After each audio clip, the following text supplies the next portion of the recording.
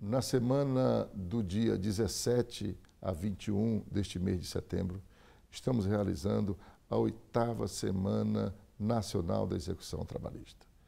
Quero contar, e sei que conto, com o envolvimento de todos os magistrados, desembargadores, juízes,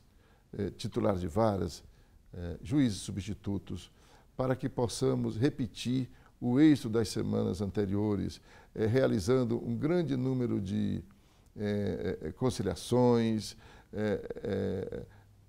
entregando o produto das ações aos demandantes, os trabalhadores, e liberando, portanto, os empregadores de mais um litígio e mais um número grande, um número grande de litígios. Portanto, eu estou aqui fazendo um convite para que todos nós, magistrados e servidores, possamos nos envolver com afinco, com, com, com fé e acreditando que vamos realizar uma grande semana nacional de, eh, da execução para que possamos reafirmar o nosso compromisso com a sociedade brasileira.